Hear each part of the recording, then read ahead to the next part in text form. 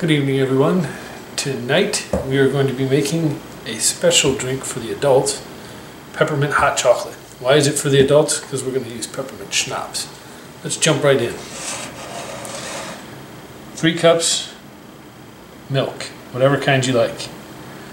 One cup heavy cream. Let's take them to the stove. Pot is on medium. Milk.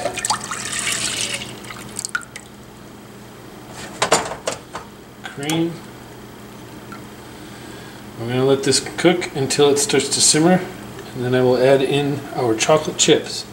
This is going to yield us four cups, but I'm going to be serving them in 20 ounce cups. So two for us.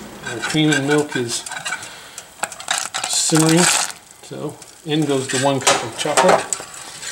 I'm using chocolate chips. You can use semi-sweets, uh, milk chocolate, or dark chocolate, depending on your taste. Um, but the chocolate isn't actually going to be the star this time. The peppermint schnapps will be the star. We're just going to mix this for probably about a minute or two uh, until the chocolate is thoroughly melted and combined into the milk and cream. the hot chocolate is now officially hot chocolate. It's all combined. Looks good, so we're going to pour these into our glasses. So there's our hot chocolate. This is three ounces of peppermint schnapps. You are welcome to adjust that to your taste. If you split it equally, that's about a shot each. If you're doing a one and a half ounce shot. With the shots applied, I've got some good old fashioned canned whipped cream.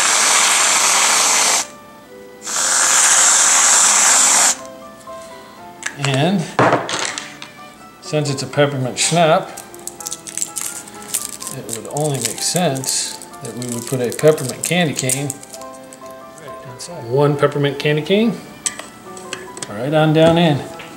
There you have it, peppermint hot chocolate for adults.